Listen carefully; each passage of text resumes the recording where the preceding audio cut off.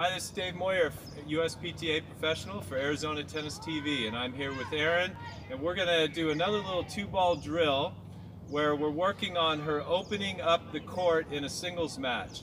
So if she gets that ball where she can step into the court just a little bit, she's going to hit that wide angle forehand.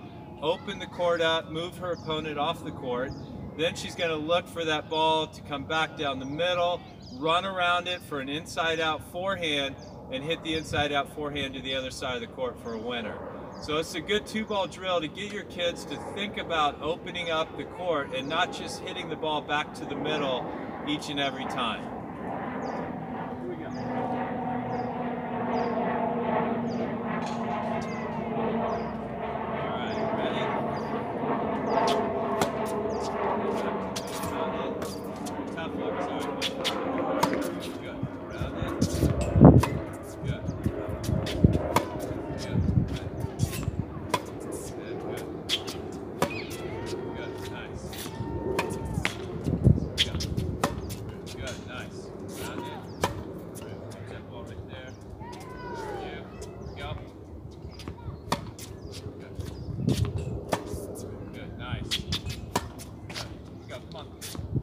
Notice how when she's doing the inside out ball, she's really getting around it, She's getting her racket in position.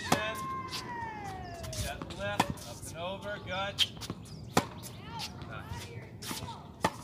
Come on, here we go, a couple more. Let's go about six more balls, six more. Here we go.